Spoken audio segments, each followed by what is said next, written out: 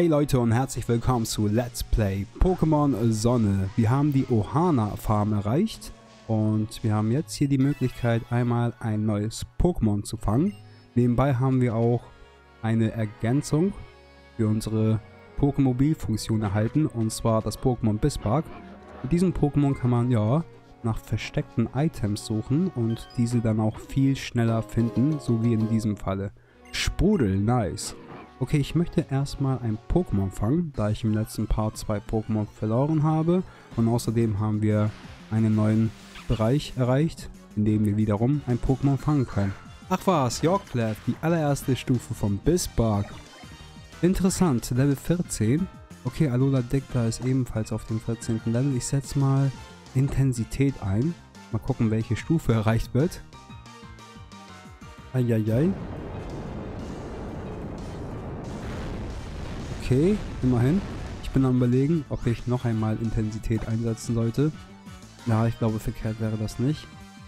Es wäre nur tragisch, wenn ich jetzt Yorklev besiegen würde. Das wäre ein bisschen, ne? Eieiei. Okay. Aber die Intensität hat diesmal eine sehr, sehr geringe Stufe erreicht. Ich würde vorschlagen, dass ich Metallklau einsetze. Glaube, Yorklev kann das noch aushalten. Beide Pokémon sind auf dem 14. Level. Daher. Yeah, okay, immerhin. Och nö, es ruft jetzt Hilfe. Hör doch auf. Bitte nicht. Nice. Es ist keine Hilfe aufgetaucht. Ja, sowas kommt auch hin und wieder mal vor. So, Flottball. Ja, hätte ich dann von Anfang an einsetzen sollen. Aber kommt. Wir haben Superbälle am Start. Ich habe noch Alula Mauzi dabei. Das bedeutet, solange es noch ein Team ist, kann ich vielleicht von der Fähigkeit Mitnahmen profitieren. Ja, Alula Mauzi hat im letzten Part verloren. Das war auf jeden Fall, na, bitter, bitter, bitter. Okay. Jetzt haben wir einen Yorklev am Start. Okay.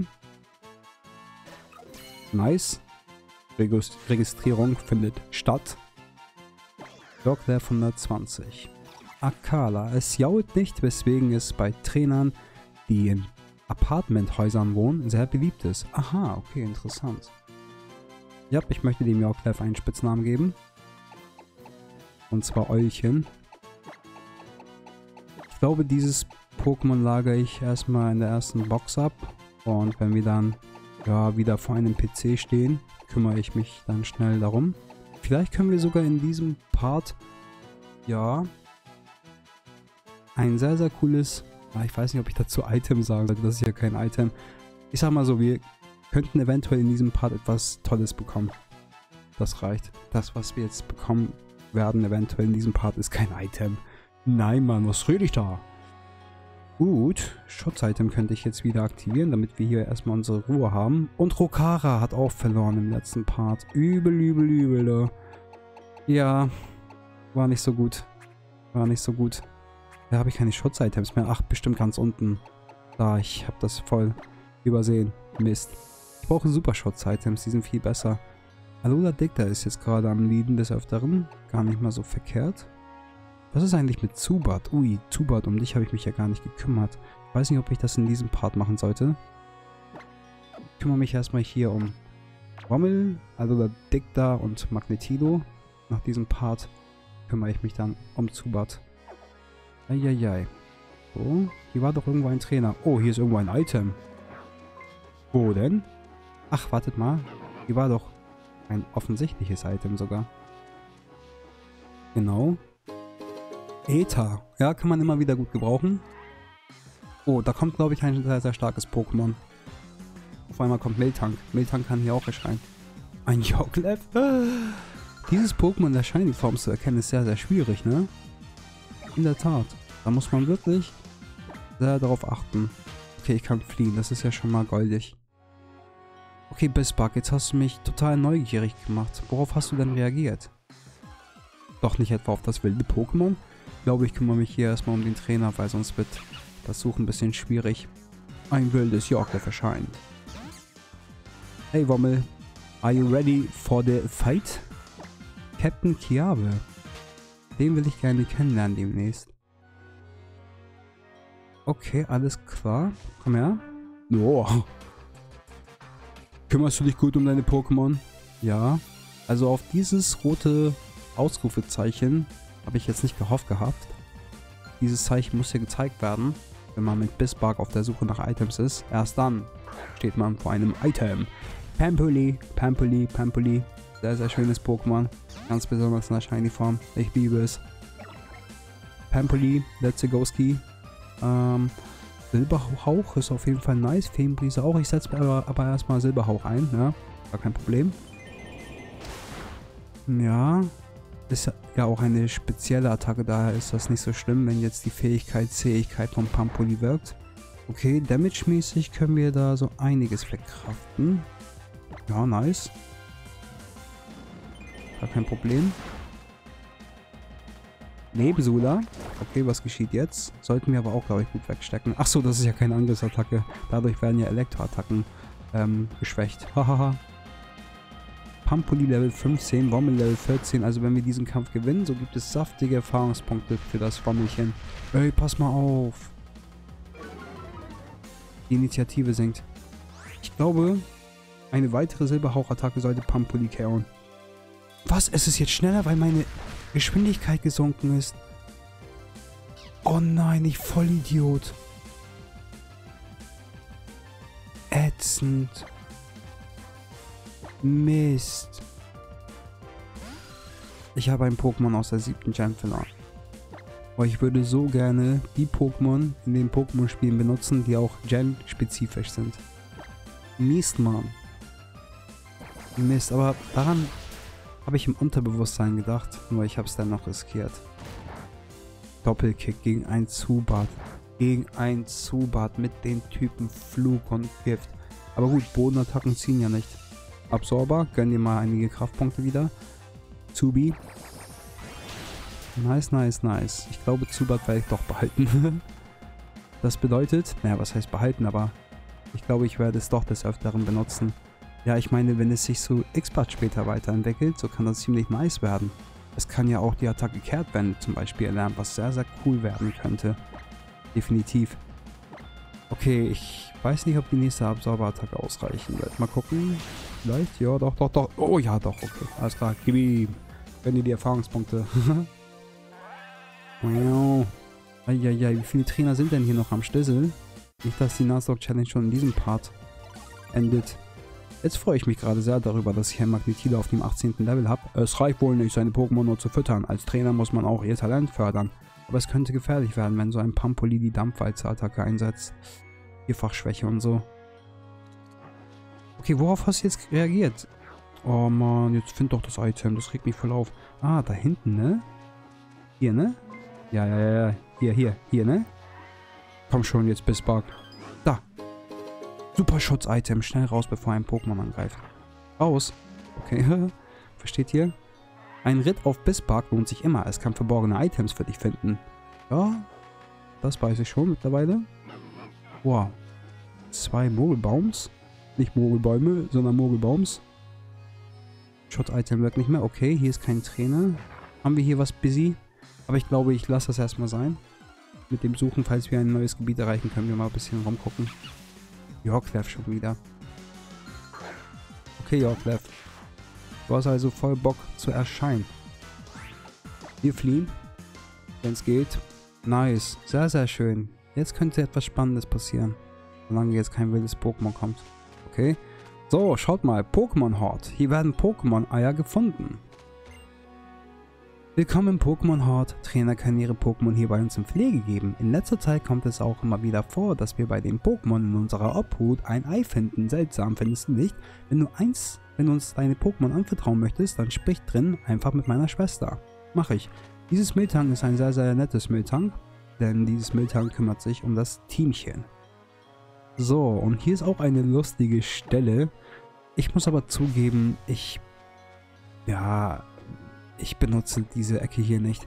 Ihr könnt hier, wenn ihr zum Beispiel Pokémon-Eier am Start habt, ja, mit Taurus einfach Runden machen oder mehrere Runden machen, bis das Ei dann irgendwann, ja, schlüpft. Aber ich stelle das meistens immer anders an, ich zeige euch das mal. Ja, jetzt muss ich mit Taurus raus. Hier sind jetzt einige Trainer, das ist ein bisschen blöd. Aber ich laufe hier die ganze Zeit durch, dann hier, dann hier, dann drehe ich mich hier, hier ein bisschen, dann wieder hoch, dann wieder da runter, da wo man Mogelbaum gesehen hat. Aber okay. Wir gehen erstmal hier rein. Denn hier befindet sich ein PC. Diesen benutzen wir kurz, um die K.O. gegangenen Pokémon einmal abzulegen. Boah, ich habe ich hab jetzt schon neun Pokémon verloren. Ätzend. So viele Pokémon habe ich ja gar nicht am Start. Rommel, danke für alles. By the way, die Pokémon mit diesen Spitznamen. Ähm, ich kann sehr, sehr gerne die Pokémon noch mal nach euch benennen. Absolut kein Problem. So, und... Ach was, wir haben sogar drei. Ach, dich haben wir auch noch. Ja, supi. Mal überlegen, ich habe ja jetzt gerade einen Flug-Pokémon am Start. Das Pokémon hat das Wesen hart. Frech, ja. Gibt's denn sowas?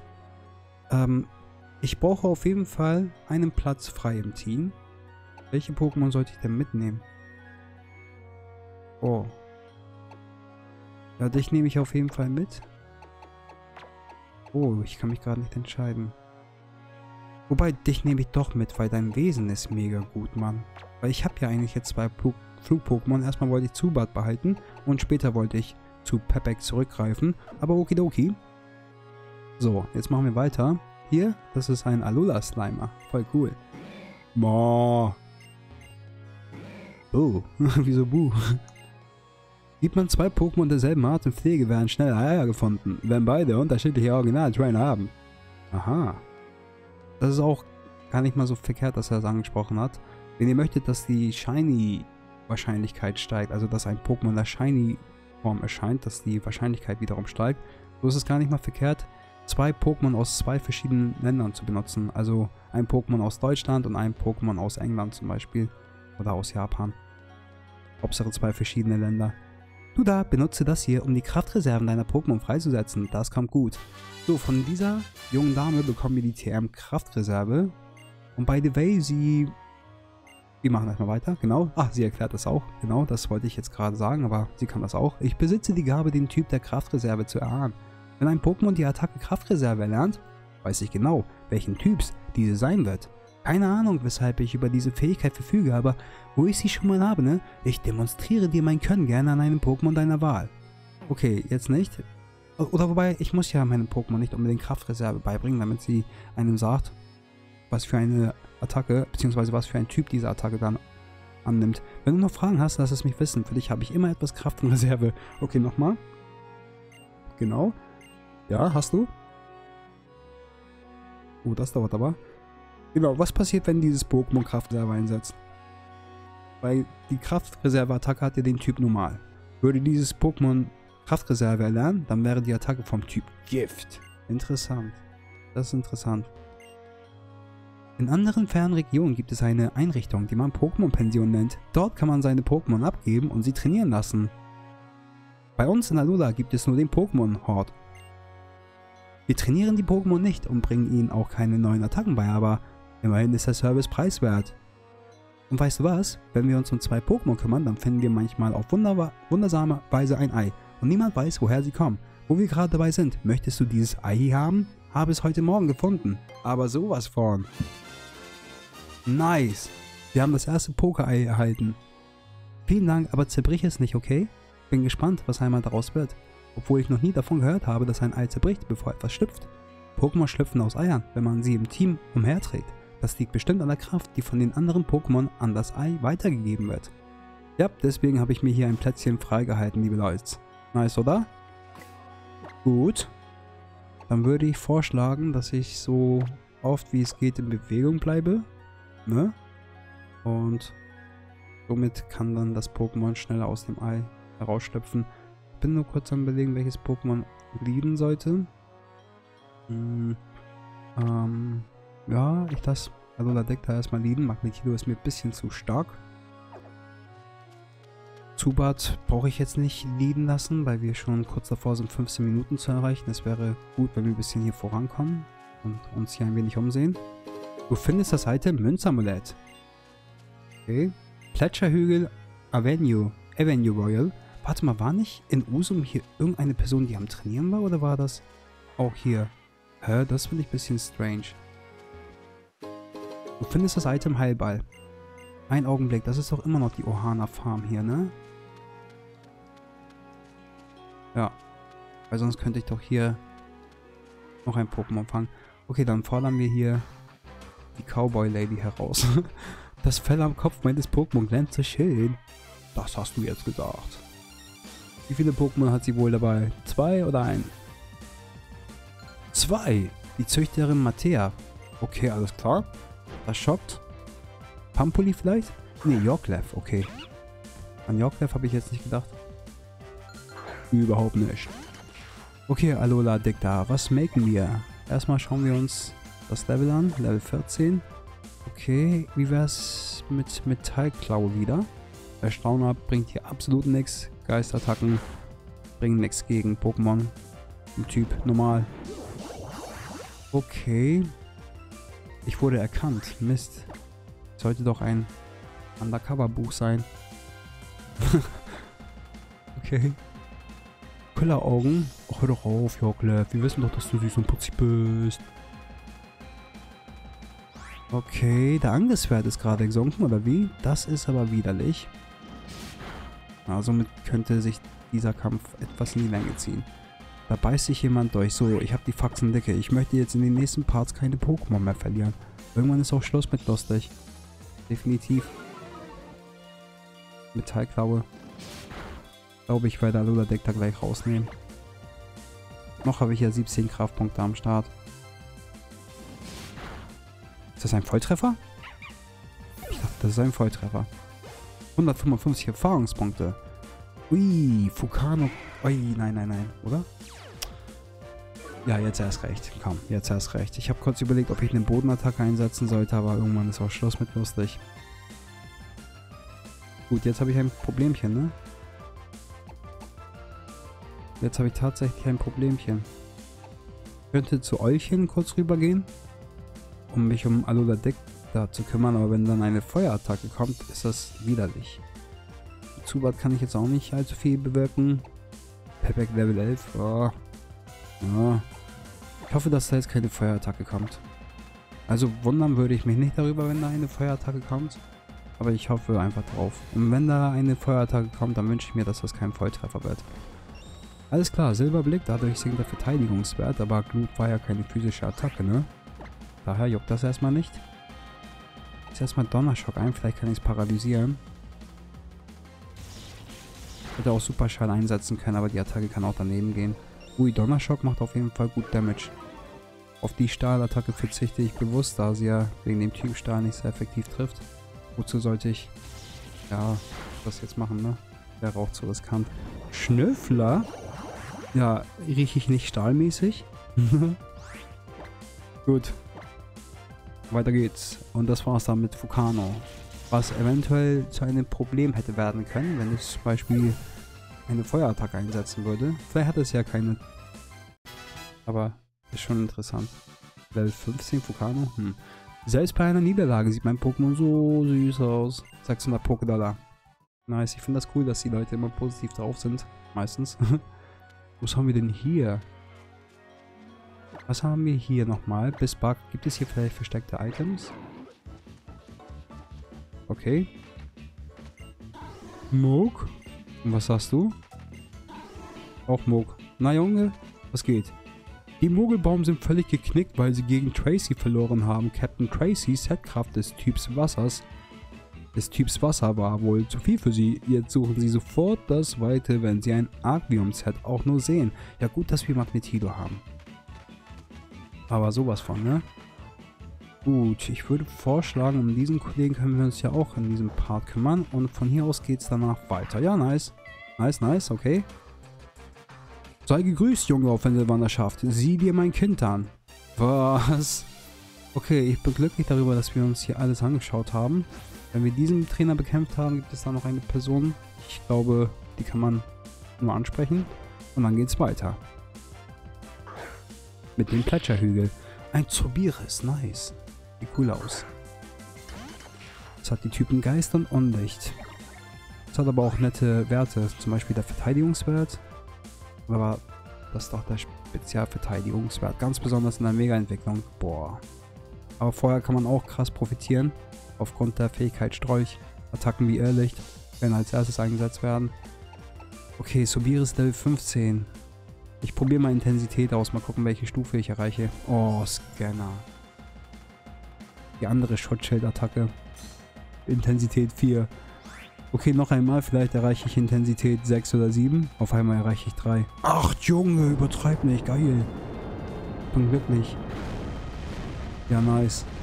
Jetzt nochmal Intensität 8 rauskriegen, das wäre zu heftig, oder 9. Ey, Mann, ich nehme Alula Dick da erstmal raus. Wie, es hat die Attacke Verfolgung am Start. Dann habe ich ein dickes Problem. Dann habe ich ein dickes Problem. Aha, Verfolgung ist nicht in der Haus.